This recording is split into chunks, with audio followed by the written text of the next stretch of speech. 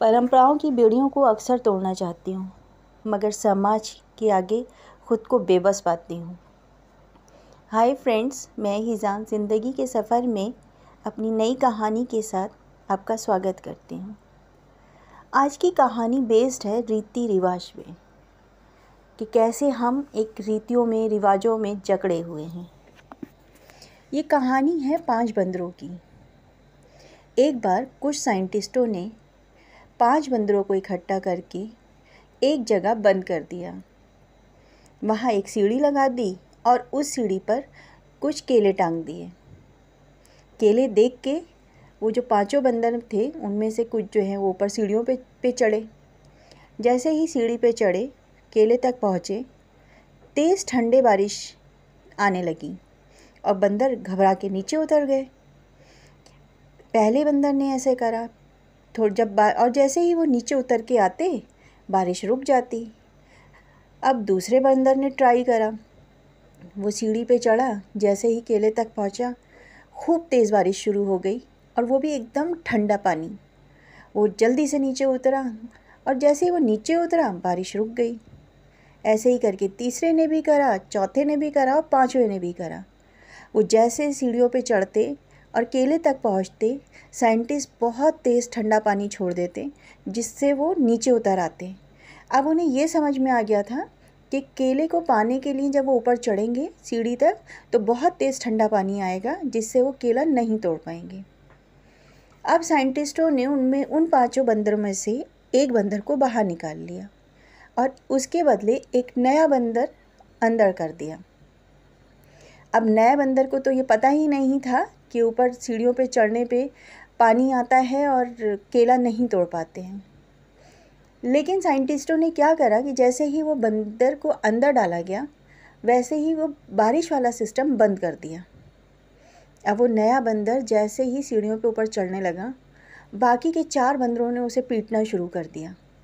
अब उस बेचारे बंदर को ये समझ में ही नहीं आ रहा था कि ये मुझे मार क्यों रहे हैं। उसे तो लग रहा था कि भाई मैं तो सिर्फ़ सीढ़ी ही चढ़ना चाह रहा हूँ, मुझे मेरी पिटाई क्यों कर रहे हैं? लेकिन वो जैसे ही बेचारा पिट के चुका, फिर उसे लगा कि मैं सीढ़ी चढ़ूँ, जैसे ही वो सीढ़ी चढ़ता, चारों बंदर फिर मारते। खैर, उसने सीढ़ी चढ़ना बंद कर दिया। अब साइंटिस्टों ने फिर एक बंदर और पुराना निकाला और उसके बदले एक नया बंदर डाला। जैसे ही नया बंदर आया, उसको भी यही समझ आया कि ऊपर सीढ़ी चढ़नी है और केले उतारने और आराम से खाने हैं। लेकिन जो बाकी के बंदर थे, उनको ये पता था, जो पुराने तीन बंदर थे, कि ये जैसे ही सीढ़ी चढ़ेगा तो ठंडा पानी गिर जाएगा तो ये केले नहीं तोड़ पाएगा। और जो नया बंदर था, उसको ये पता था कि सीढ़ी चढ़ने पे पिटाई होती है। उस चक्कर में उसने जो दूसरा नया बंदर आया था, उसकी भी पिटाई शुरू हो गई। वो जैसे ही सीढ़ी के पास जाता, बाकी के सारे बंदर उसको मारने लगते। वो बेचारा अब किसी ने भी ये जानने की कोशिश नहीं करी कि वो सीढ़ी के के पास क्यों नहीं जा सकते।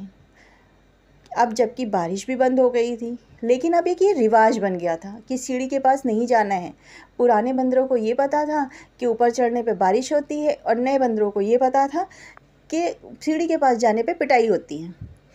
साइंटिस्टों ने फिर तीसरे बंदर की जगह रिप्लेस करके नया बंदर करा। नए बंदर के साथ भी सेम हुआ बेचारा, जैसे ही सीढ़ी के पास जाता था, उसकी बाकी बंदर पिटाई कर देते थे। ऐसे करते हुए साइंटिस्टों ने सारे पुराने बंदर को ऊपर ले लिया और उनके बदले सारे नए बंदर डाल दिए और साथ में बारिश भी बंद कर दी। लेकिन जितने भी वो बंदर थे, उनको ये पता था कि सीढ़ी के पास नहीं जाना है। वो जैसे ही कोई नया बंदर आता और वो सीढ़ी के पास जाने की कोशिश करता, पुराने बंदर उसकी पिटाई करना शुरू कर देते और वो बेचारे को लगता कि सीढ़ी के पास जाने पे पिटाई होती है। जबकि उन लोगों को ये पता ही नहीं था कि वो पिटाई होती क्यों है। पहले पुराने बंदर क्यों मारते थे या क्यों डरते थे? उन्हें ये पता ही नहीं था कि ऊपर जाने पे बारिश हो जाती थी। उनको तो जितने नए आते गए बारिश का ही उनको ये भी नहीं पता था कि बारिश तो अब रोक दी गई है। खाली हम केला जब चाहेंगे तब उतारेंगे, खाएँगे, आराम से मिल बांट के खा भी सकते हैं। लेकिन उन्हें एक ही रिवाज बन गया था कि सीढ़ी तक नहीं जाना है, जाते ही पिटाई शुरू हो जाएगी। समझे दोस्तों, कई बार हम ऐसे रीति रिवाजों में झगड़े होते हैं, जो कभी बहुत सालों से उस टाइम के सिचुएशन के हिसाब से बनाई गई होती हैं। लेकिन क्योंकि वो रिवाज चलता आ रहा है तो हम उसको तोड़ना भी नहीं चाहते।